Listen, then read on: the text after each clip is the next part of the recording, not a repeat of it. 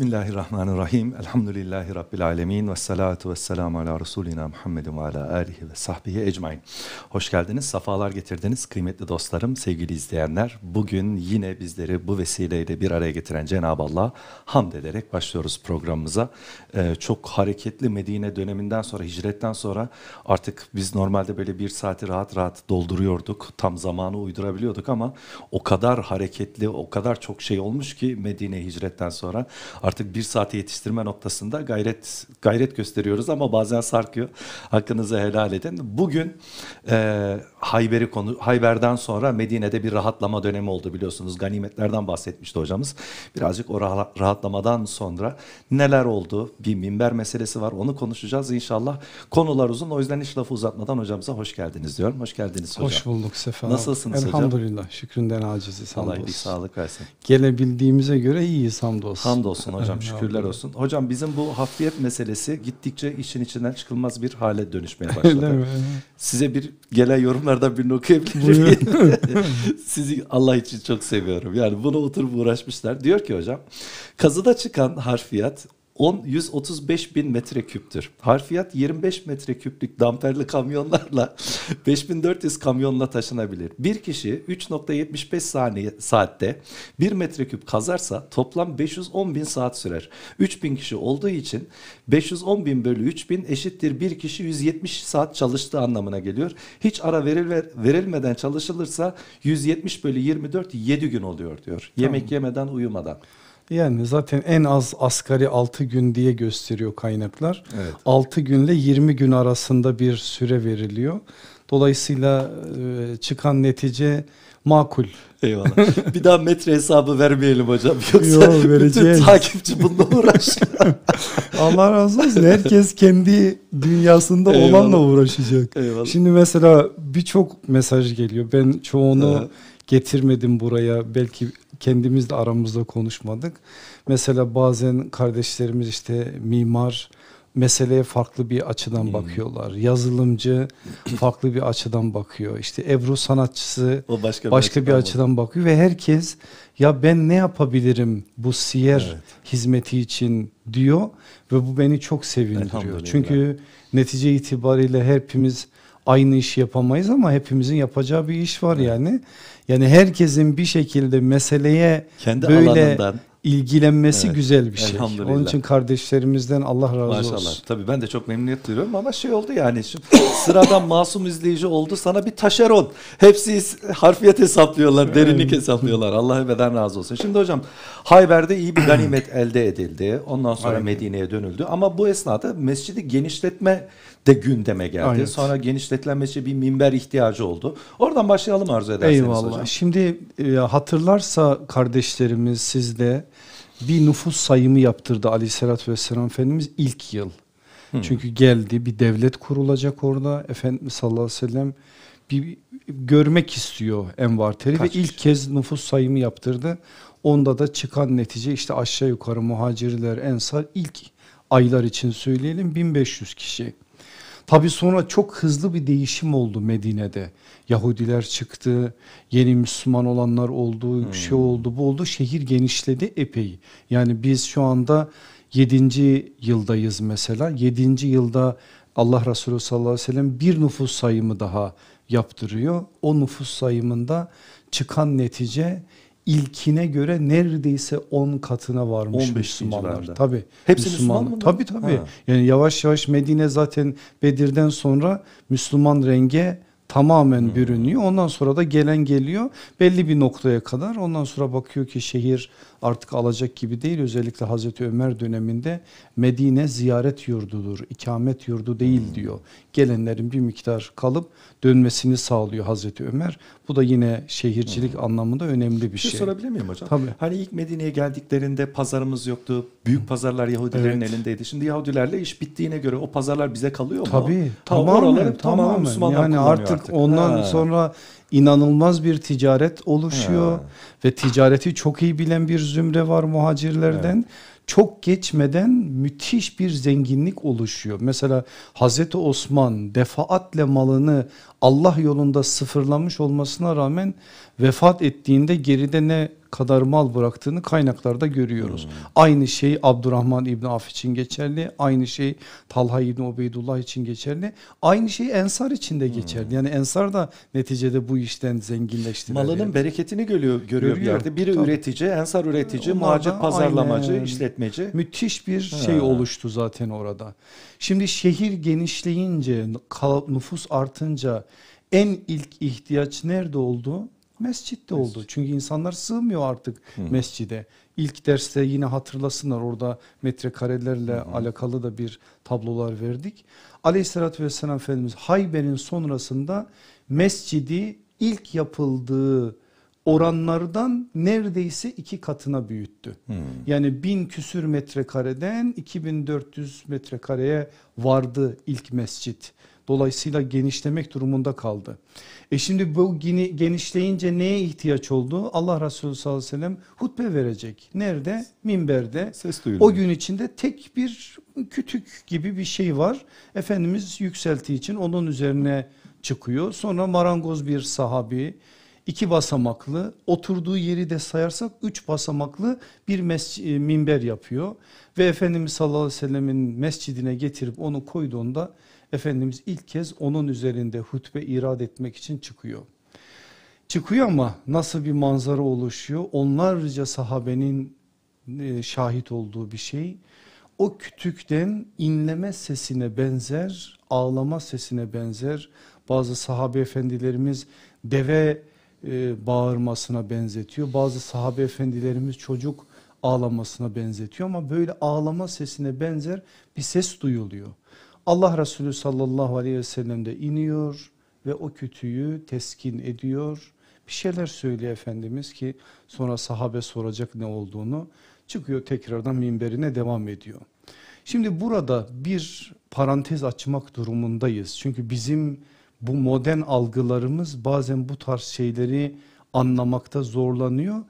Anlayamadığımız zaman da anlama gayreti vereceğimize hemen inkar yolunu Aynen seçiyoruz. O büyük bir hastalık yani bizim o hastalığa düşmememiz gerekiyor. Bir kere şu hakikati bilelim. Varlığı bugün okullarda öğretildiği gibi ikiye ayırıp canlı cansız diye isimlendirmek İslam'ın mantığına uymayacak bir şey. İslam'da da varlık ikiye ayrılır ama şuurlu ve şuursuz diye ayrılır. Hiçbir varlık yoktur ki kainatta canı olmaz. Zaten atoma baktığınızda her şey atomdan Canı müteşekkil var, olduğuna evet, göre. Bitti canı var yani şu anda bakın şu masa canlı aslında bize şahitlik ediyor. İyi şey yapsak da kötü şey yapsak da yarın lehimizde ya da aleyhimizde şahit bize. Şu anda bulunduğumuz bu yer şahit bize. Hiçbir şey yok ki bu manada şahitlik görevi olmuş olmasın ve kendine özgü bir canı olmuş olmasın. Şimdi böyle anladığımız zaman Allah Resulü sallallahu aleyhi ve sellem'i anlıyoruz. Elbisesiyle konuşan bir peygamber var karşımızda. Kendi kullandığı eşyalara isimler koyan bir peygamber var ve onlara hitap ediyor. Dağla konuşuyor sallallahu aleyhi ve sellem. Uhud'a diyor ki ey Uhud sen cennet dağlarından bir dağsın. Biz seni severiz sen de bizi seversin. Başına bir dert geldiği zaman Uhud'u kendine sırdaş ediniyor, derttaş ediniyor. Yağan yağmura cübbesini tutup senin ahdin benimle daha taze diyen bir peygamber var karşımızda. Devesi mağlup olup yarıştan geldiği zaman ellerini açıp bir ana gibi karşılayan bir peygamber var Gel önümüzde. kıslam, gel diyor, değil mi? Yani bunun onlarca örneği var. Şimdi varlığa böyle bakmayı öğrendiğimiz zaman yeryüzünün imarı adına bizden bekleneni yapmış oluruz. Şu anda bakın Müslümanlar olarak bu doğa meselesinde, çevre meselesinde, imar meselesinde, şehircilik meselesinde bize yakışmayan tavırlar ortaya çıkıyor. Neden? Çünkü biz bu ruhu kaybettik. Biz çiçeğin, böceğin, ağacın, Hukukunu yeşilin gözetmedik. hukukunu anlamadık Allah Resulü'nün bize öğrettiği gibi. Eğer bunu anlasaydık her birinin bir canı olduğunu bilir ona göre davranırdık. Dolayısıyla o kütük meselesini o şekilde anlamak durumundayız. Sahabe de ona şahitlik ediyor. Çok şey söylenir konularımız fazla bizim bugün bir şey söyleyeceğim. İbni Yesar isimli bir tabi'in alimimiz var Basralı Allah kendisinden ebeden razı olsun. Oturur mescitte hadis okutur buna da sıra gelir işte bu kütük hadisine rivayetine. Okur ağlar ağlar ağlar bayılır. Uyandırırlar talebeleri. Hocam ne oldu ya ne oldu? Halen gözyaşları durmuyor. Dönüp şöyle bir cümle söylüyor. Yani o kadar zor ki bu cümleyi aktarmak. Bir kütük bile Resulullah sallallahu aleyhi ve sellemin ayrılığına dayanamadı. Biz nasıl dayanalım diyor. Ben onu hatırladıkça diyor duramıyorum diyor. Defaatle aynı hadisi okumuş olmasına rağmen hepsinde aynı tavrı göstermiştir. Bu bizim dünyamıza ait bir şey. Bizim dünyamızda hislerle akıl, kalple akıl beraberce hareket eder. Asla biz kalbi aklın rakibi, aklı da kalbin rakibi olarak anlamayız. Kalbimizi tatmin edecek, aklımızı ikna edecek şekilde kendimizi imar etmeye çalışırız. Dolayısıyla bu manadaki rivayetleri de böyle anlarız. Peki ne oldu mescit genişleyince bir şey daha oldu. Kadınlar geldi sallallahu aleyhi ve sellemin yanına dedi ki ya Resulallah mescit genişledikçe biz düştük arkalara iyice arkalara düştük. Senin sesini zorlanıyoruz duymaya bazen özel sorularımız oluyor soramıyoruz sana böyle olmaz dedi. Biz de bu noktada sizden talebimiz var ne istiyorsunuz dedi bize bir gün ayır dedi ya Resulallah hanımlar. Bize bir gün ayır bir gün biz gelelim senden ders alalım rahat rahat sorularımızı soralım. Seninle bu noktada biz de erkekler kadar istifade etmiş olalım.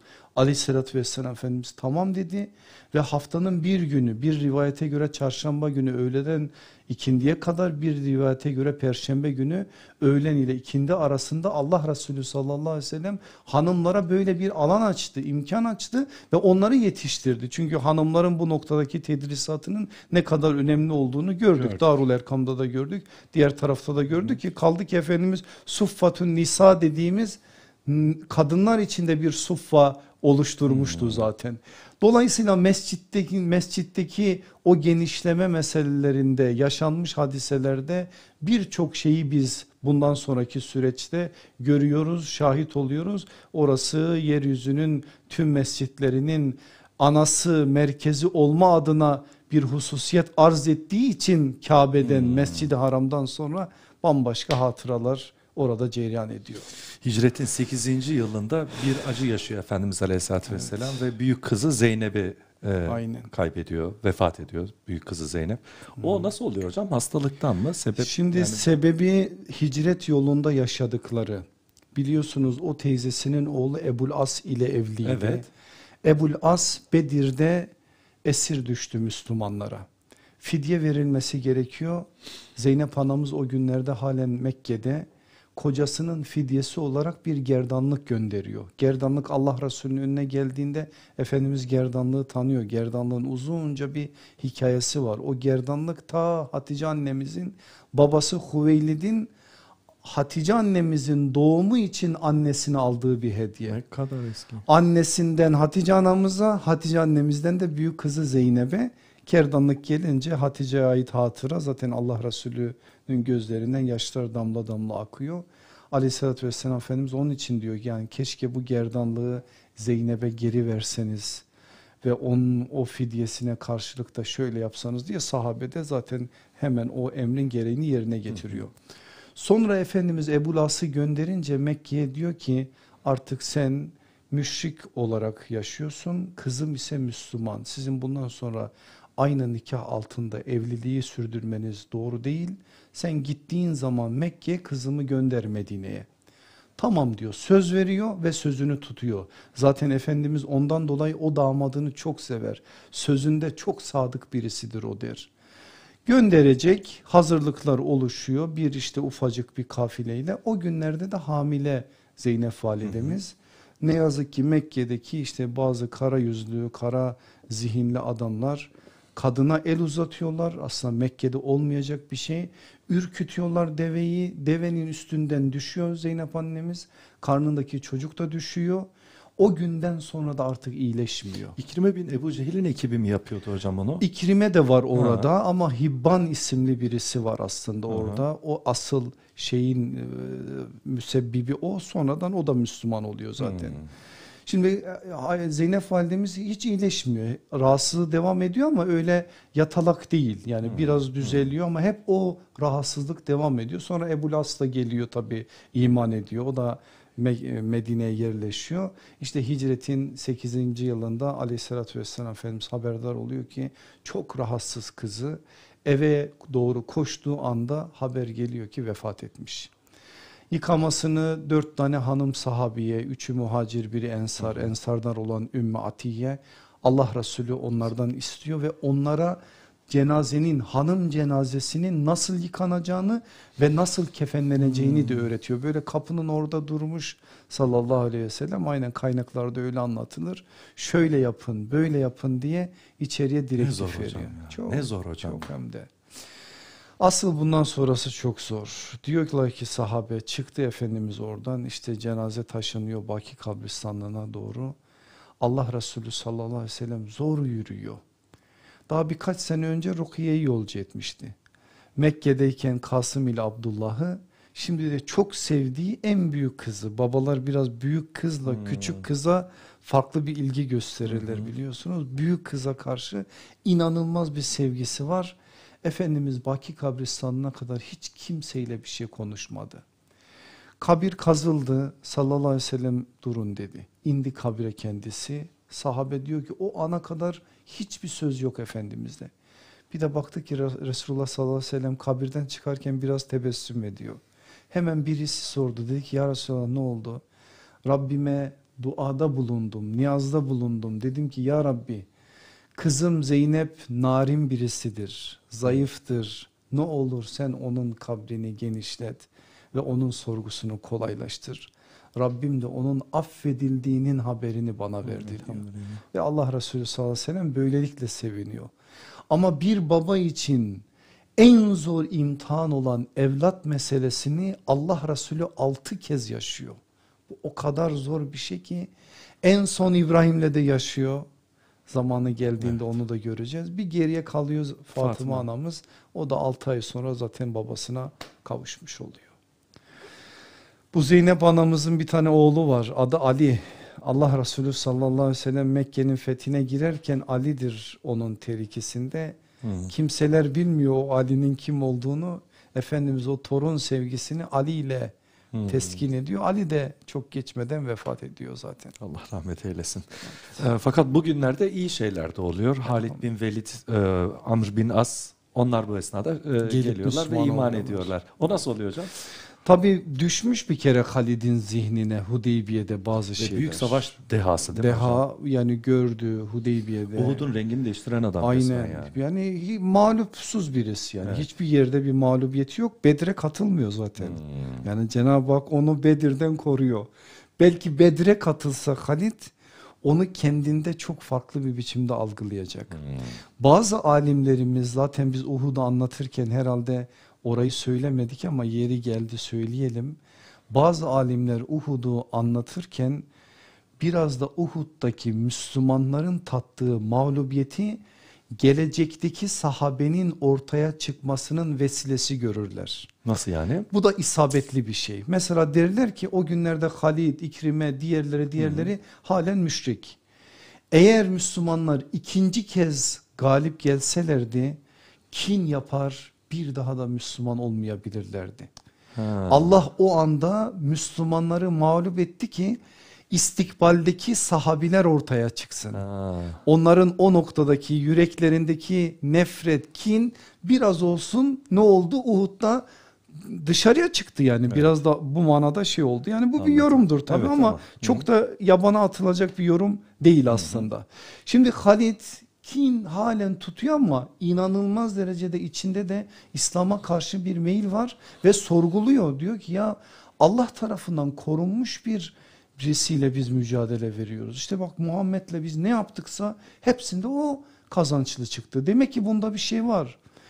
Kaza umresi olduğu sene yani geçen iş dersimizde gördüğümüzde yani 7. yılda evet. Kaçıp gidiyor Halid Müslümanlarla karşılaşmamak için. Halen içinde o gelgitleri yaşıyor.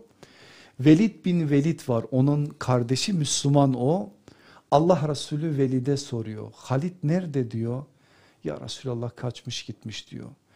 Ya anlayamıyorum diyor sallallahu aleyhi ve sellem. Halid gibi akıllı bir insanın halen inkarda direnmesini anlayamıyorum diyor. Gerçekten ben onun bir gün aklıyla doğruyu bulacağına inanıyorum diyor. Velid bunları bir mektup yazıyor gönderiyor Halid'e. Hmm. Halid bunları okuyunca diyor ki ya gerçekten Muhammed benim için böyle mi düşünüyor? Evet diyor. Ondan sonra bütün o olup bitenler yüreğinden İslam'a da, dair bir şeyin açılmasına sebebiyet veriyor. Gelecek Medine'ye yol arkadaşı arıyor kendisine. Yol arkadaşlığı kim yapacak işte Safvan İbni Ümeyye'ye söylüyor olmuyor. İkrime'ye söylüyor olmuyor. Onlar halen düşmanlıkta zirve o günlerde. Osman bin Talha'ya söylüyor bir rivayete göre. Osman bin Talha bir rivayete göre onunla beraber geliyor. Bir rivayete göre fetihte Müslüman oluyor.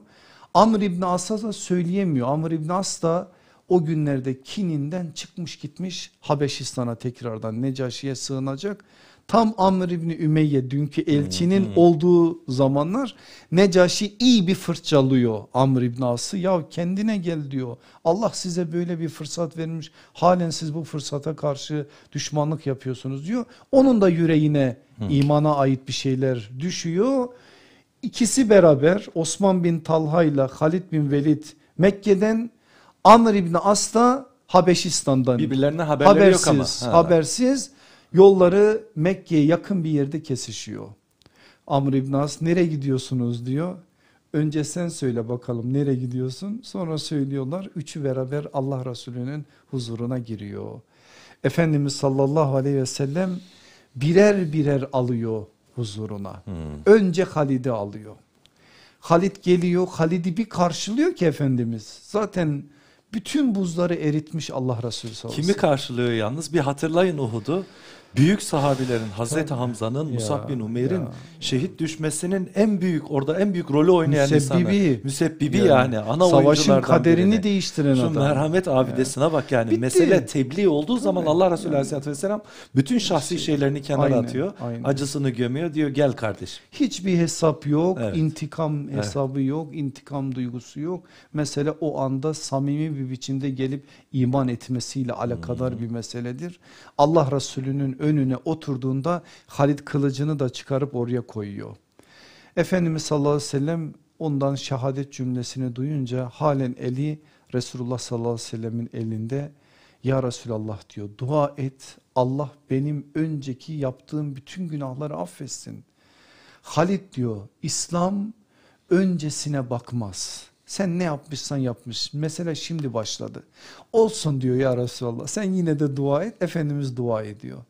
Kılıcını koyduktan sonra Halid diyor ki ya Resulallah şimdiye kadar bu kılıcımı senin aleyhine kullandım.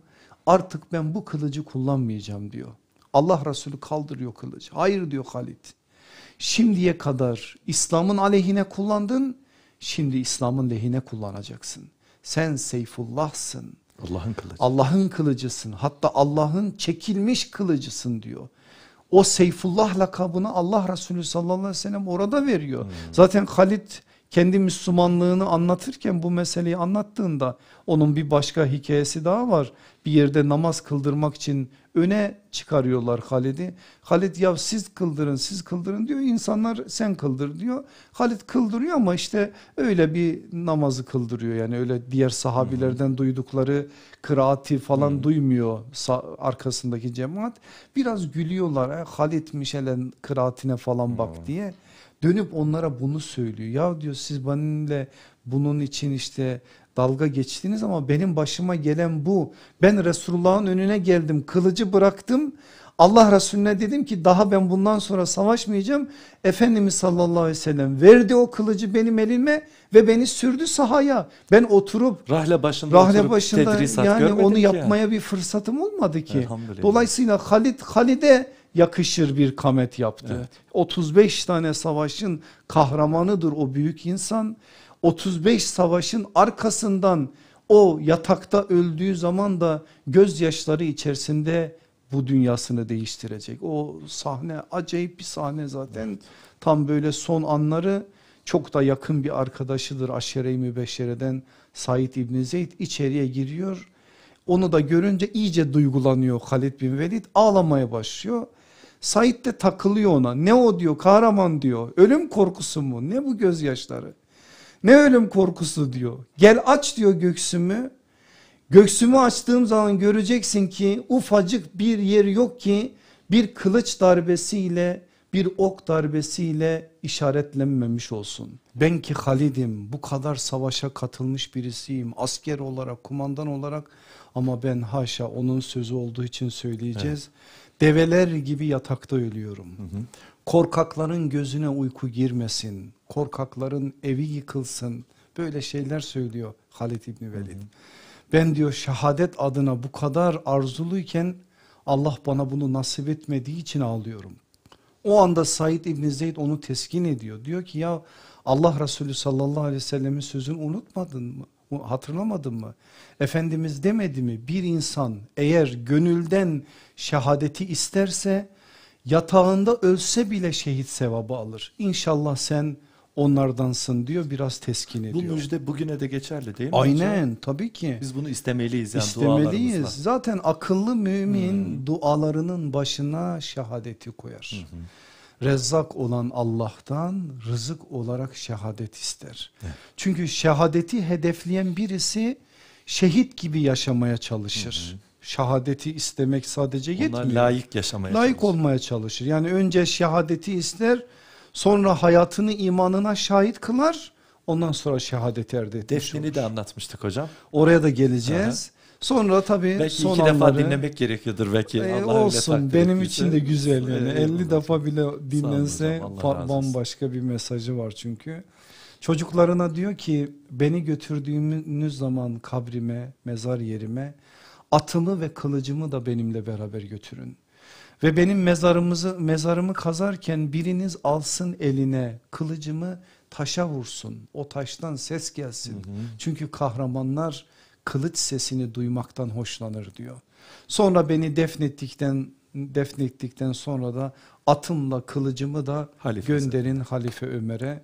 Halife Ömer'e gönderilir. Ömer der ki Halid o efsanevi komutan geriye sadece bunları mı bıraktı? Evet derler. Çünkü 35 Hı -hı. savaşa katılmış ciddi bir ganimet almış Hı -hı. arkada bu var yani. İşte orada Hazreti Ömer Halit için söyler. Bir hamid kul olarak hamd eden bir kul olarak yaşadı ve bir kahraman olarak öldü. Dünya onun gibisini görmedi. Analar da onun gibisini doğurmadı der Hazreti Ömer onun hakkında. Ömer'in şehadeti önemli bir şehadet. Halit bu göreceğiz şimdi biraz evet. sonra da göreceğiz yine Mute destanında ama burada bir şey söyleyelim. Kardeşlerimiz iyice zihinlerine nakşetsinler şimdi söyleyeceğimi. Neden? Çünkü çok mühim bir nokta var burada. O da şu. Biz her sahabeyi seviyoruz. Çünkü onları yetiştiren Allah Resulü sallallahu aleyhi ve sellem. Her birini bir yıldız kabul ediyoruz. Çünkü her birisi nübüvvet güneşinden bir şeyler aldı. Evet. Her birinden bir şey kokluyoruz. Çünkü her biri o bahçede bambaşka bir biçimde güzelliklere Hı. muhatap oldular. Ama bazı isimler var ki bizim için çok önemli Bekir kardeşim. Evet. Neden? Çünkü biz onların eliyle hidayet şerbetini içmişiz. Evet. Şimdi Hazreti Ali'nin söylediği bir söz var ona nispet edilen. Bana bir harf öğretenin 40 yıl kölesi olurum. Niye? Çünkü gerçekten ilim çok önemli bir şeydir. Bu noktada birisinden bu manada bir şey gördüğünüzde unutmazsınız. Hı hı. Peki bize harf öğreten değil, harfler öğreten değil, hidayeti bize ulaştıranın biz nesi oluruz? Ya. Halit bize hidayet ulaştıran bir sahabi. Anadolu'da onun ayak izlerinin izleri var. İyad bin Ganem bize hidayet getiren bir elçi. Safvan İbni Muattal bize bunu getiren bir güzel kahraman. Ebu Ubeyde İbni Cerrah Antakya Hatay için bu. Hı hı. Dolayısıyla onlarınla bizim dünyamızda biraz daha farklı bir bağ olmalı. Halit de o bağı kurmamız gereken önemli isimlerden evet. bir tanesi. Amr İbn As da içeriye giriyor. Onun da Müslümanlığında bayağı Allah Resulü ile konuştukları şeyler var. Osman bin Talha'nın da bunlar rivayetlerde aktarılıyor. Şimdi Halid ne oldu? Medine'de. Efendimiz sallallahu aleyhi ve sellem hemen ona Mescid-i Nebevi'nin yakınlarında bir ev veriyor. Sen bana yakın bir yerde dur diyor. Aleyhissalatü vesselam Efendimiz onu farklı bir biçimde kullanmanın hesaplarını yapmış zaten aklında. Hmm. Üç ay sonra biraz sonra göreceğiz. Mute'ye giderken Halid o ordunun içerisindedir. Ama komutan olarak değil asker olarak içerisindedir. Bu aleyhissalatü vesselam efendimizin bir terbiye sistemidir. He. Her zaman bir insanı hep aynı görevde tutmaz sallallahu aleyhi ve sellem. Bir bakarsınız birisi komutandır bir seriyede bir bakarsınız o insan sıradan bir askerdir. Başkalarının itiraz edebileceği sosyal konumu olan birisi komutandır. Bu bir terbiye işte yani bu gerçekten çok önemli. Yani ısrarla bunun üzerinde durmamız lazım. Çünkü bugün ocak batıran bir hastalık baş olma sevdası. O baş olma sevdası ümmetin de ocağını batırıyor. Ümmetin de ocağını batırdığı için bizim bu sisteme ve bu terbiyeye tekrardan dönmemiz lazım. Asıl olan baş olma değil Asıl olan Allah Resulü'nün bize öğrettiği şekilde imamete ittiba etmektir. Bu imamete ittiba ettikten sonra başımızda Habeşli bir köle olsa dahi itaat edeceğimizi istemedi mi sallallahu aleyhi ve sellem? Tabii. Tamam mesele bitti. Dolayısıyla bunu bir kere öyle anlayalım. Hı hı. Şimdi Mute'ye gitmeden bir şey daha söyleyelim çünkü Mute'de onun adını duyacağız. Tamam. Dönüyor Efendimiz e, Hayber'den tam dönüş yolunda Habeşistan'dakiler de geliyorlar. Hı. Yolları Hayber'de kesişiyor. kesişiyor. Zaten onlar duymuşlar Efendimiz Hayber'de direkt Medine'ye gitmeden oraya gelmişler. Medine'ye gidip geldiklerini de söyleyen rivayetler var. Allah Resulü karşısında görüyor onları. Sadece Habeşistan'daki muhacirler değil Yemenliler, Eş'ariler de var. Ebu Musa el-Eş'ari orada, Ebu Hureyre orada Devs kabilesinden olanlar da onlar. Hı hı. Onların da hikayesi ayrı bir hikaye zaten. Yolları kesişmiş Habeşistan'da beraberce gelmişler. Allah Resulü görüyor şimdi karşısında Cafer'i ne diyor? Neye sevineyim? Hayber'in fethine mi? Cafer'in gelişine ya. mi? Cafer bunu duyunca ne yapar? İnanın ki oynuyor. Oynuyor resmen kaynaklar böyle söylüyor. Dönüyor raks ediyor. Allah Resulü bu kadar önemli bir cümle söylemiş ona. Yani siz duysanız böyle bir ben cümle. oynarım. yani neyse o tepki Allah evet. Resulü karşısında onu söylüyor. Efendimiz de gülüyor Cafer'in o halini görünce. Cafer'le yıllardır Allah Resulü hasret kalmış görüşmemiş. Gelişi Medine'ye bambaşka bir sevinç oluyor. Gelişiyle Efendimiz ona da bir ev aldırıyor yanı başında aleyhissalatü vesselam Efendimiz üç tane oğlu var Cafer'in Ab Abdullah, Muhammed ve Avın sürekli onları ziyarete gidiyor. Onlara gittiği zaman da o üç tane çocuk daha o günlerde biraz hmm. Abdullah büyük amcamız geldi amcamız geldi deyip Resulullah'ın önüne koşuyorlar. Aleyhissalatü vesselam Efendimiz de onlarla bu manada hasret gideriyor. Bu bilgiler dursun şimdi bunlar tamam. bize lazım olacak. Mute'de lazım olacak. Şimdi Mute'ye geçelim. Peki niye ihtiyaç duyuldu? Mesela her bir seriyenin gazvenin bir nedeni vardı. Evet. Yahudiler fitne yapıyorlardı, işi bozuyorlardı vesaire. Mute bu seriyeye niye ihtiyaç duyuldu? Eyvallah. Allah Resulü geçen ders gördük. Ne yaptı? Mektuplar gönderdi. Doğru. Mektupları gönderdiği yerlerden bir tane de bir tanesi de Gassan Meliki. Evet. Yani Bizans'a bağlı Bizans'ın valisi olarak görev yapan Gassan Meliki Şurahbil İbni Amr. Buna kimi gönderiyor sallallahu aleyhi ve sellem? Haris İbni Ümeyye isimli sahabe efendimizi hı hı. gönderiyor. Adam Bedevi'nin teki çıldırıyor Resulullah'ın elçisini karşısında görünce onun elçisi olduğunu duyunca bağlayın diyor bunun ellerini ve o günkü bütün devletlerde melikliklerde olmayacak bir şey elçiyi öldürtüyor şehit ediyor Haris İbni Ümeyye'yi. Aleyhissalatü vesselam Efendimiz'e bu haber gelir gelmez Efendimiz hadi diyor. Bakın hadi dedi. O burada dursun Hatırlayalım mı geçmişi? Evet. Reci vakasında yedi tane sahabi şehit oldu. Sabretmişti. Sabretti. Biri Maune'de. Sabretti. Ha, şimdi Hadi hayır. Diyor. Niye? Çünkü şu anda durum farklı. Şu anda eğer oraya bu manada bir cevap verilmezse bu zillet. Ama o günkü sabır izzet.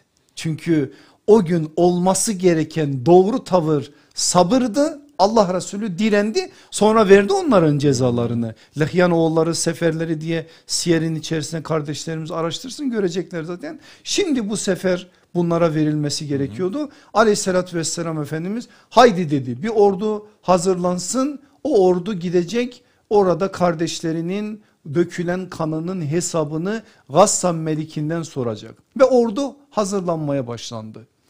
Cüruf denilen bir yer var Medine'de ordugah olarak kullanılan bir yer. Orada ordu yavaş yavaş hazırlıklara girişiliyor. 3000 kişilik bir ordu iyi bir rakam o günkü şartlarda. Allah Resulü sallallahu aleyhi ve sellem ordunun hazırlıkları devam ederken hiç yapmadığı bir şey yaptı. Ordunun komutanı Zeyd bin Harise'dir dedi. Eğer Zeyd şehit olursa yerine Cafer bin Ebi Talip geçecek. Eğer Cafer bin Talip de şehit olursa yerine Abdullah İbni Revaha geçecek. Eğer Abdullah İbni Revaha da şehit olursa Müslümanlar kendi içlerinden birini kendilerine komutan seçecekler. Şimdi bu ne demek? Anlayan anladı. Şöyle Hazreti Ebu Bekir az sözden çok şey anlayan adamdır o Allah evet. ebeden razı olsun. Ya Resulallah dedi keşke Cafer biraz kalsaydı da ona doysaydık dedi. Allah Resulü de hiçbir şey söylemedi çıktı gitti. Numan isminde bir Yahudi alim var o günlerde hı hı. Medine'de.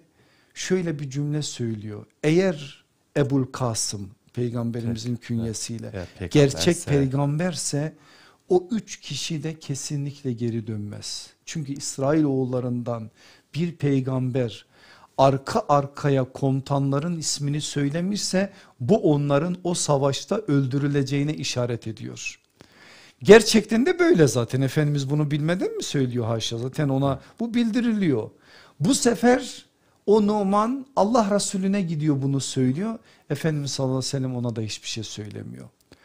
Dönüyor Zeyd'e gidiyor. Zeyd diyor bak böyle yani bu işin dönüşü yok. Eğer gerçek bir peygamberse sen gelmeyeceksin. Ben diyor zaten onun için gidiyorum. Şehadete sevdalı bir nesille konuştuğunu unutmuş. Ben zaten onun için gidiyorum. Cafer'e söylüyor aynı şey. Abdullah İbni Revaha'ya söylüyor aynı şey. Numan zaten hayran oluyor onlardaki o şehadet aşkına artık yapılacak bir şey yok. Şimdi ondan sonraki hazırlıklar devam ederken biraz böyle Zeyd'in komutanlığı hakkında ileri geri konuşuluyor. Neden? Zeyd kimdi? Mevaliden yani kölelikten evet. azat edilmiş. Ya bu kadar büyük sahabiler var.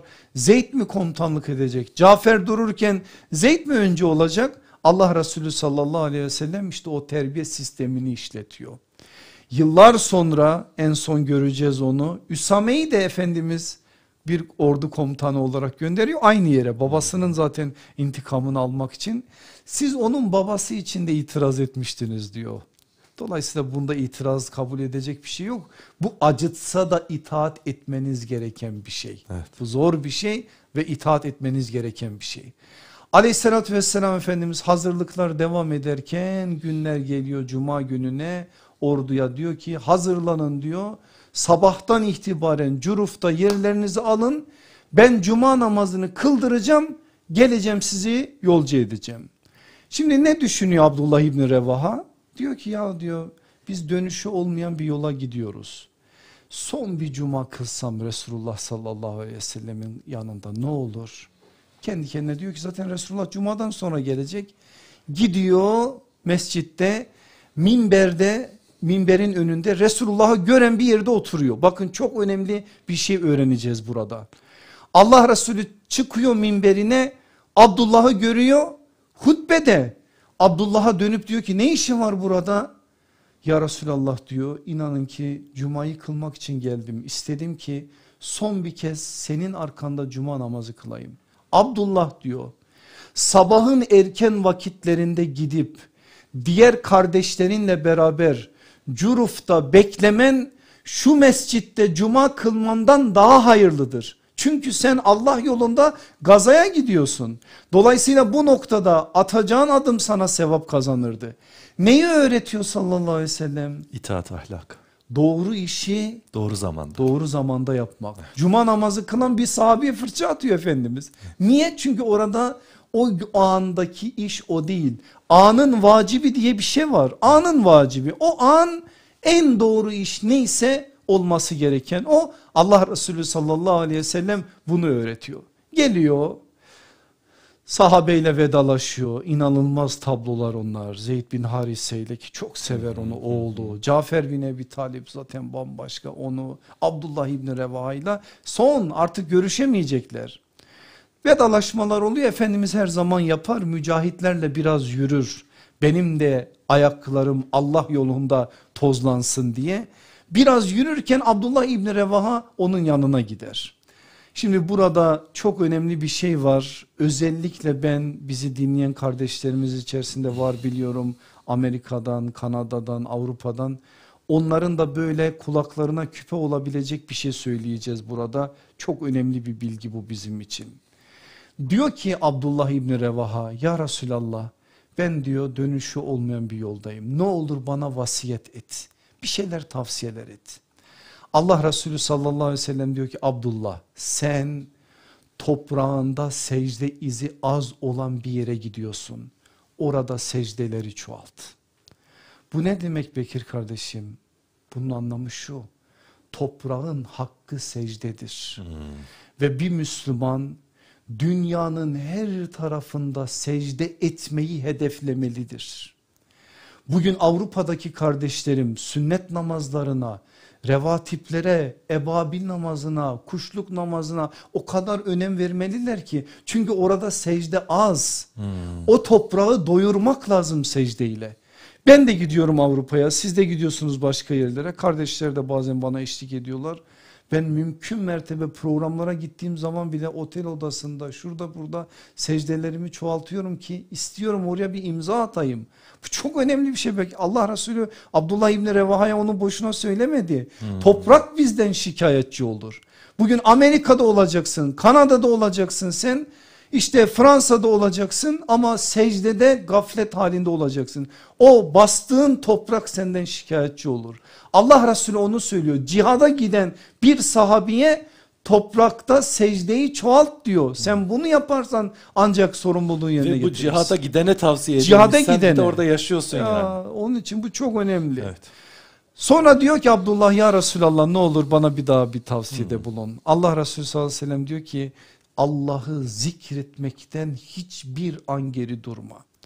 Ya Resulallah ne olur diyor bir daha bir daha Efendimiz diyor ki o ikisi sana yeter diyor. İki tanesi üçüncüsünde teyittir yani bir evet. daha aslında söylüyor ve ordu böylece yola çıkıp gidiyor. Gidiyorlar bir yerde konaklıyorlar haber geliyor ki Gassan Meliki Heraklius'a da haber göndermiş. Yüz bin kişilik bir ordu var. Bir başka rivayette yüz bin de arkasından geliyor. 200 bin kişilik bir ordu. Bunlar kaç kişi? 3 bin kişi. Hiç böyle bir karşılık beklemiyorlar. Ve o anda Zeyd bin Harise diyor ki ne diyorsunuz ey Müslümanlar ne diyorsunuz? Tamam Resulullah bizi gönderdi. Gönderirken söyleyeceğini de söyledi ama inanılmaz bir düşman var karşımızda. Ne yapalım? Herkes farklı farklı görüşler söylüyor. Kimisi diyor ki mektup yazalım Resulullah'a anlatalım tekrardan bize bir şey söylesin. Kimisi diyor ki burada işte birkaç köyde bazı işte mücadeleler verelim geri dönelim. Bir kimisi diyor ki bekleyelim falan filan orada durmuş birisi hiç konuşmuyor. Abdullah İbni Revaha en son o sözü alıyor. Müslümanlar diyor ne oldu size ya? Siz çıkarken hani şehadet için çıkıyordunuz? Ne oldu şimdi kalbinize başka şeyler mi geldi? Biz dönüşü olmayan bir yola çıktık ve biz şimdi iki güzelden birine talibiz. Ya Zafer? İki güzelden birine. Elime dikkat ediyor musun? Evet. Buna ne diyorlar? Zafer işareti. Ha, bu sahabenin işareti Bekir kardeş. Öyle mi? Aynen öyle. Ha. Ve mutede eller böyledir. İki güzelden birine talibiz.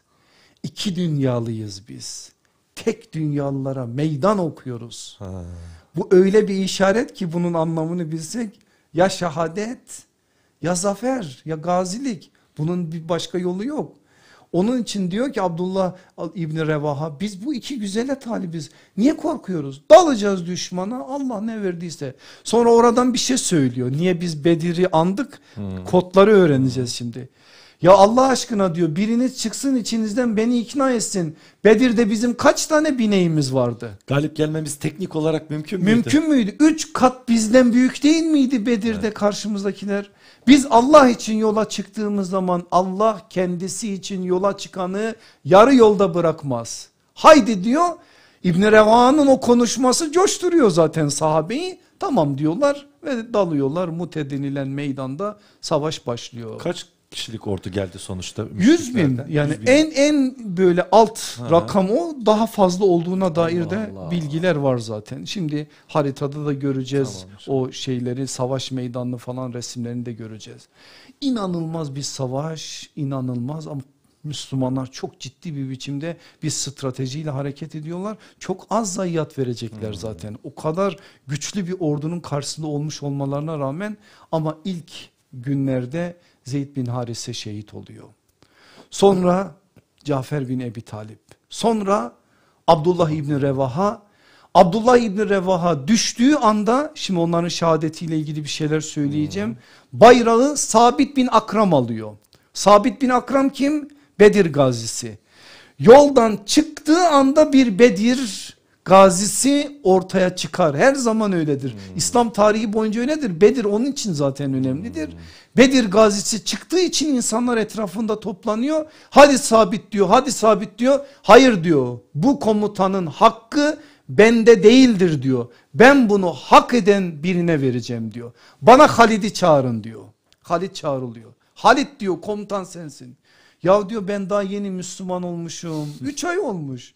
Ben ne yapabilirim? Sen Bedir gazisisin. Allah Resulü ile defaatle savaşlara girmişsin. Sen ol diyor. Ben sana itaat ederim. Hayır diyor. Burada baş olma sevdası yok. Tecrübe konuşur. Tecrübe konuşur, ehliyet konuşur. Ehliyet. Liyakat konuşur. Sen bu işin ehliyet ve liyakatinde söz sahibisin. Al sancağı komuta sende diyor. Alıyor. Sa razı mısınız diyor insanlara. Herkes diyor ki razıyız. Halit tamam diyor. Halit orada bir askeri dehasını konuşturuyor ki Bekir kardeşim inanın ki saatlerce üzerinde durabiliriz bu meselenin. Bir anda savaşın ortamını değiştiriyor. Günlerdir aynı yerde savaşan askerleri alıyor diğer tarafa. Ön taraftakileri alıyor arkaya, arka taraftakileri alıyor ön tarafa. Bir değişim sağlayınca karşı taraftakiler zannediyor ki takviye geldi. Takviye geldi. Ha. Bir grubu arkadan bırakıyor. Diyor ki siz durun durun durun. Şu noktada benim işaretim gelince dalın büyük bir coşkuyla. Bilsinler ki bizim arkamızdan bir şeyler geliyor ve bu moralmen çökertiyor zaten o orduyu. Hmm. İnanılmaz derecede bu manada bir şey oluşuyor ve Halit bakıyor ki çok ciddi bir şey kademeli bir biçimde İslam ordusunu geriye çekiyor. Artık karşı tarafta biraz yorulmuş derken savaş bu şekilde neticeleniyor ve Müslümanlar bu şekilde geriye dönmek durumunda kalıyorlar. Kalıyorlar ama olay aslında tam burada Allah Resulü sallallahu aleyhi ve sellem Medine'de mescidinde oturmuş bir ekrandan izler gibi savaşı izliyor ve anlatıyor. Onlarca hadis kitabında tarih kaynağında geçen bir şey. Bayrak komuta Zeyd bin Harise'de Zeyd bin Harise savaşıyor. Şeytan onu o yoldan çevirmeye çalışıyor. Zeyd tenezzül etmiyor. Zeyd şehit oldu. Kardeşiniz için mağfiret dileyin diyor. Mescittekiler mağfiret diliyorlar. Şimdi komuta Cafer bin Ebi Talip'te. Cafer'in kolları kopuyor vuruyorlar darbeyi. Onun için Cafer'i tayyar diyoruz biliyorsunuz. Kardeşinize böyle böyle mükafatlar var. O cennette kanatlarla şu anda uçuyor. Tabi Cafer deyince Efendimiz Zeyd'de de Cafer'de de gözyaşına boğuluyor. Böyle bir mükafat kardeşiniz için mağfiret dileyin mağfiret dileniyor. Şimdi komuta Abdullah İbni Revaha'da diyor. Abdullah İbni Revaha'ya gelince Efendimiz bir duruyor Sahabe özellikle ensar aman ya Resulallah ne oldu? Oh diyor. Ya. O da şehit oldu diyor. Sonra soruyor ensar ne oldu? Ya Resulallah ne oldu ki sen öyle bir hale girdin? Kardeşiniz o anda nefsiyle mücadele veriyor. Anlık tereddüt, anlık, anlık. anlık. Ya. Anlık Ki ama bırakmıyor, nefis bırakmıyor, şeytan Ya. bırakmıyor. O da orada bunun mücadelesini veriyor. Ama ne güzel karşı çıkmıyor mu? Sen beni Of. diyor malım için mi? Evet. Bahçelerim için mi? Eğer hanımım içinse üç talakla boşadım diyor. Malım içinse hepsini vakfettim diyor. Kölelerim içinse hepsini azat ettim diyor ve yeniyor nefsini. Evet. Sonra biraz geri çekiliyor amcasının oğlu bir parça et veriyor ona işte günlerdir yorgunsun diye bir lokma alıyor. Ya diyor halen dünyanın peşine düşmüşsün diyor dalıyor askerin içerisine o da orada şehit oluyor. Allah Resulü sallallahu aleyhi ve sellem onun da şehadet haberini veriyor. Şimdi diyor komuta Seyfullah'ta. Allah Resulü ne diyor biliyor musunuz? Savaş yeni başladı. Savaş yeni kızıştı diyor. En sonunda da Allah Resulü sallallahu aleyhi ve sellem fethin işte galibiyetin müjdesini veriyor. Müslümanlar orada galip oluyorlar mı? Oluyor Geri mi aslında oluyor yani peygamberimize göre o galibiyet Evet. ama sahabeye göre değil. Şimdi göreceğiz zaten. Geri gelecekler Efendimiz sallallahu aleyhi ve sellem Cafer'in evinde önce Cafer'in şehadet haberini veriyor hanımı Esma'ya. Çok zor bir tablo o tablo. Allah Resulü o kadar zorlanıyor ki Esma'ya söyleyince önce çocukları alıyor o üç tane oğlunu böyle biraz okşuyor seviyor. Esma anlıyor ya Resulallah diyor yetimlerin başını okşar gibi okşuyorsun yoksa Cafer'e bir şey mi oldu? Cafer şehit oldu diyor. Esma bir feryat basıyor Allah Resulü sallallahu aleyhi ve sellem teskin ediyor onu. Sonra diyor ki teskin edin kardeşinizi ve üç gün o eve yemek gönderin diyor. Bakın bu bizde bir gelenek biliyorsunuz. Allah Resulü aslında bunun bir sünnet olduğunu bize söylüyor. Cenaze evine dışarıdan yemek gönderip onların acıyla bu işlerle uğraşmaması noktasında katkı sağlama noktasında bir uyarıda bulunuyor Ve aslında. konuda ne kadar eksiyiz. Kurban olayım artık şu adetleri değiştirin. Allah rızası için Sünnet bizi üzere, izleyenler. Benim sünnet annemin üzere. vefatında da yaşadık. Etrafımızda vefat edenlerde de görüyoruz. Millet acısını mı yaşayacak, sana yemek mi yetiştirecek? Ya, ya. Allah rızası için sünnet olan o eve yemek yapıp götürmeniz hatta mümkünse onu servis etmeniz orada hizmette bulunmanızdır. Oraya gidip yemek beklemek yani bu acı paylaşmanın böyle bir şekli yok. Yani. Sünnet seniye de alakası yok. Allah rızası için O insanlara artık ya. hizmet ettirmemek ve bir Evet. şey beklememek. Evet, İkincisi ya. bir şey daha yanlış yapıyoruz. Mesela insanın acısı olduğunda ne yapmalı? Ağlar, gözyaşı döker. Gidip susturuyorlar bazıları. Yani duymuşlar aleyhissalatü vesselam Efendimizin bu noktadaki uyarılarını ama eksik duydukları için yanlış şeyler yapıyorlar. Aleyhissalatü vesselam Efendimizin yasakladığı ağlamak değil. Yasakladığı dövünmek, bağırmak, ağıt Dize yapmak. vurmak. Evet. Dolayısıyla insanların yaslarını yaşamalarına engel olmamak lazım. Allah Resulü demedi mi Hamza'nın ağlayanı bile yok? Dedi.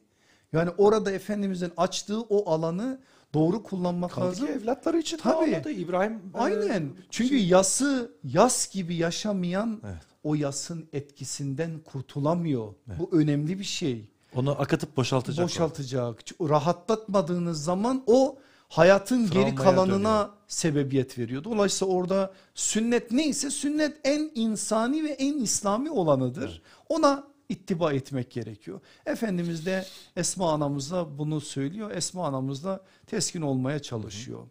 Şimdi dönüp geliyorlar e, ordu. Gelecekler Allah Resulü haber alıyor. Öncesinden Halid Yala İbni Ümeyye isimli birini gönderiyor Efendimiz'e ki savaşın meselelerini anlasın. Yala geldiğinde sallallahu aleyhi ve sellem diyor ki Yala savaşı sen mi anlatırsın ben mi sana anlatayım? Ya Resulallah sen anlat diyor. Allah Resulü de anlatıyor. Böyle böyle böyle. Vallahi ya Resulallah ben böyle anlatamazdım diyor. Ama dediklerinin hepsi, Hepsi doğru. Hepsi. Çünkü aleyhissalatü vesselam Efendimiz İzle. perdeler açıldı mı neler neler görür. Kudüs'ü de görmüştü perdeler açıldığı zaman. Tarif etmişti Tarif müşriklere. etmişti. Defaatle Allah ona bu ikramı vermiştir. Burada da veriyor zaten. Geliyor şimdi ordu ama karşılayanlar içerisinde kızgınlar var. Niye? Onlar tam bir galibiyetle gelemediler. Onun için onlara Ya firrar diyorlar bazıları. Firar edenler. Firar edenler. Ya firarlar deyip üzerlerine toprak atıyor. Bunu yapanlar çocukları, sahabenin çocukları. Kendileri babalarına firar diyorlar. Siz nasıl burada galibiyette tam olarak dönmezsiniz diyor. Allah Resulü bunu gördüğü zaman onlar firar değil, onlar firari değil. Onlar karrar. Yani kerrarın çoğulu. Ha. Döne döne savaşanlar. Döne döne galibiyet elde edenler diyor onları uyarıyor. Hmm. Ama öyle şeyler var ki vakit geçiyor. Olsun hocam. öyle bir şeyler var ki oldu. mesela gidiyor sahabe efendimiz eve giriyor hanımı yüzünü çeviriyor. Allah Allah. Sen diyor nasıl olur da böyle bir şeyle gelirsin diyor. Bir sahabe efendimiz ismi mevzu bahis değil üç gün evinden çıkamıyor. Çıktığında komşuları firar diyorlar. Aleyhissalatü vesselam Efendimiz artık topluyor cemaati uyarıyor ya diyor siz ne yapıyorsunuz? Onlar asla firar değil. Onlar yani böyledir. hanımının yüzünü çevirmesini de doğru anlamak lazım. Ben el aleme ne derim gibi çok basit Değil, ucuz bir değil, şeyle sahiple değil, değil, değil, yani. değil, Tamamıyla imanla alakalı bir Çünkü refleks. git ve o sancağı Tabii, tabii, düşürme tabii, diye gi- gönderiyor. Sakın ha sen gelirsen de eğer o sancağın boynu bükük olursa ben gösteririm sana. Bunu defaatle duyuyorum Hmm. Evet, zaten evet. siyerin içerisinde. Evet. Bu İslam'ın Anneler izzetini evlatlarına diyor Evet İslam'ın izzetini yüceltme adına bir şeydir Evet. yani. Orada sahabenin tavrını, sahabenin hanımlarının, çocuklarının tavrını bu çerçeveden okumamız gerekiyor. Allah Resulü sallallahu aleyhi ve sellem teskin ediyor onları ve bunun bir zafer olduğunu söylüyor. Onun için biz muteyi Resulullah'ın beyanıyla zafer diye okuruz. Zaten ondan sonra özellikle sonraki süreçte Bizans'la yapılacak bütün savaşların mukaddimesi oluyor Mute ve Mute'de o sahabenin kahramanca mücadelesi aslında Bizans'ın yüreğine korkuyu o günden sarmış. Bunların 3000'i böyleyse 100 bini Sarmıyor. nasıl? olur? Yani o Yermuk'ta dizlerinin titremesi Mute'den kaynaklanıyor aslında. Dolayısıyla o günkü o sahabenin kahramanlığının altında bu yatıyor. Peki. Son soru hocam bu tarihlerde Necaşi de vefat ediyor Allah adil hükümdar. Aynen. Nasıl ulaşıyor haber efendimize? Duyunca ne yapıyor Allah? Aleyhissalatü vesselam Efendimiz onu da Cebrail'den öğreniyor. Ha. Kalkıyor sabah diyor ki kardeşiniz Necaşi salih insan Necaşi vefat etti. Ve günler sonra o haber Medine'ye ulaşıyor ama Allah Resulü almış alacağını. İki rivayet var bu konuda. Ya Mescid-i Nebevi'de ya Musalla'da yani o Gamame Mescidinin olduğu yerde ya da Baki kabristanlığında Efendimiz gıyabi bir cenaze namazı kıldırıyor. Cabir bin Abdullah olayın şahididir hatta kendisi diyor ki ben üçüncü safta duruyordum diyor. Nasıl Efendimiz kıldırdı, neler söyledi, neler konuştu bize hepsini naklediyor. Allah Resulü sallallahu aleyhi ve sellemin gıyabi cenaze namazları çoktur biliyorsunuz. Birkaç tanesini biz biliyoruz. Mesela Ümmü Mihcen isimli bir hanım sahabi var.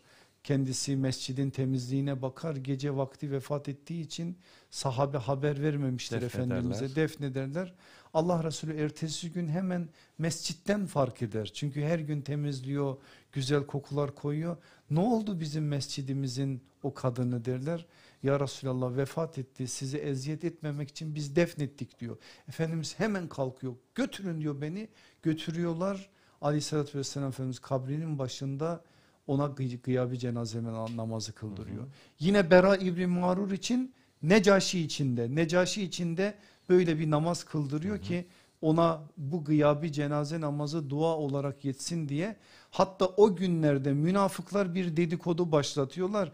Ya Necaşi ne Müslümanı ne hali falan filan Müslüman değil diye bir şeyler de söylüyorlar. Bunun üzerinden de birçok hadise oluyor. Ama Efendimizin beyanıyla Necaşi adil olduğu gibi Müslim Müslüman bir hükümdar olarak dünyasını değiştiriyor biz onun için onun adını radıyallahu anhu diye anıyoruz. Resulullah sallallahu aleyhi ve sellemi görmemiş olmasına rağmen o asrı saadette yaşayıp tabi'in olarak Hmm. ölenlerden birisidir ama mümin olarak ölenlerden birisidir. Allah Bir görelim. Görelim haritaları hocam. onları biz konuşmadan yine unuttuk. Şimdi burada bakın şeyi görüyoruz Mute güzergahını görüyoruz. Medine-i Münevvere'den çıkıyorlar. Mevap bölgesi Mute'ye ben gittim. Kudüs'e 50 kilometrelik bir alan orası. Yani hı hı. Kudüs'e çok yakın ama şu anda Ürdün toprağının içerisinde. Hı hı. Lut Gölü'ne de yakın Bahrül Meyyit'e Ölü Deniz'e. Dolayısıyla çok farklı bir yer gerçekten Bayağı orası. Bayağı uzak bir yermiş hocam. E tabii ki yani orası o günlerde işte Gassan Melikliğin bulunduğu yer ve e, Bizans'ın kontrolünde. Hı hı. Resimleri de görelim. Savaş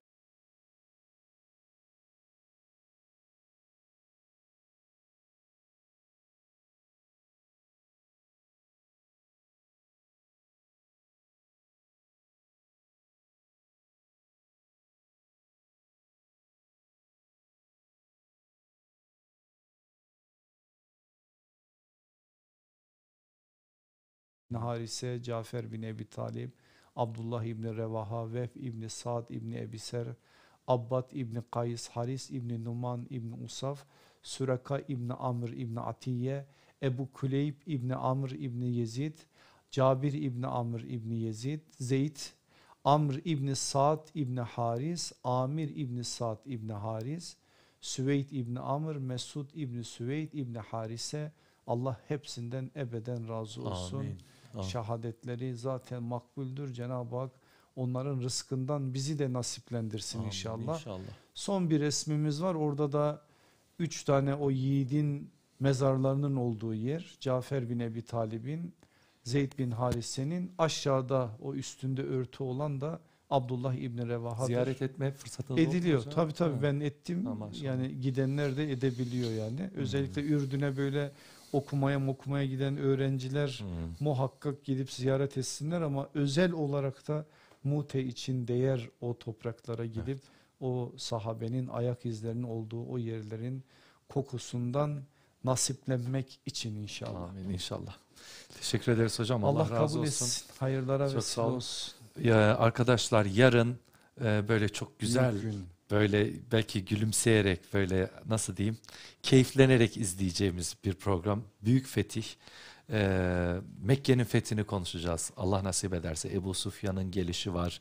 Efendimiz Aleyhisselatü Vesselam'ın ashabıyla Mekke'ye girişi var. Ya. Ondan sonra ilk ezan var orada. Hocam söylemişti hatırlıyor musunuz? Hazreti Bilal Habeşi'nin hayatında önemli birkaç ezan vardı. Onlardan biri evet. orada o Kabe'nin üstüne çatısına çıkıp okuduğu ezan.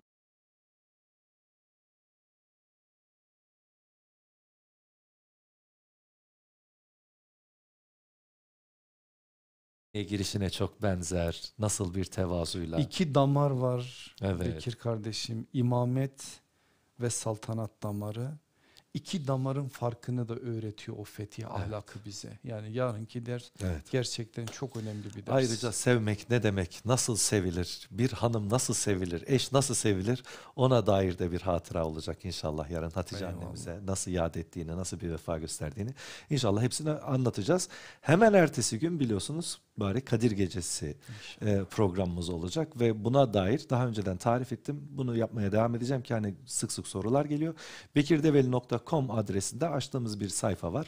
Oraya tıklayarak hemen ana sayfadaki linke tıklayarak okuduğunuz 60 şerifleri, Fetih surelerini artık neyse oraya ekleyip formda doldurabilirsiniz. Arkadaşlar şu anda gösteriyorlar. Doldurup yolladığınızda bize o rakamlar ulaşacak. İnşallah hocamız Kadir Gecesi yapacağımız özel programla e, bunu duyuracak. Dün yine üstü kapalı söylemiştim bugün yine söylüyorum. Yarın yani Kadir Gecesi programında estağfurullah iki gün sonra size bir müjdemiz olacak. Bizi takibe devam edin inşallah.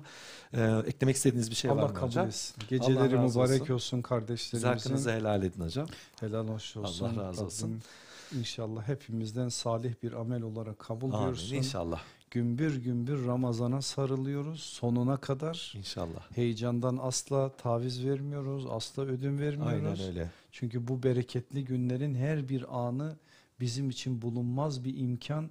İnşallah bu imkanı kendi hayatımız için, ahiretimiz için büyük bir mükafata dönüştürelim. İnşallah Allah hocam. nasip etsin. İnşallah. Rabbim de bizi bu hayırlara vesile etsin inşallah. İnşallah. Burada olduğumuz vesile olduğumuz anlamına gelmiyor. Allah bizi gerçekten vesile etsin amin, buna. İnşallah. Amin, Değil amin. mi hocam? İnşallah. Peki dostlar bizi izlediğiniz için teşekkür ederiz. Allah hepinizden razı olsun. Yarın yine saat 12'de kanalımızda buluşmak ümidiyle ahiriniz evvelinizden hayırlı olsun inşallah. Hoşçakalın.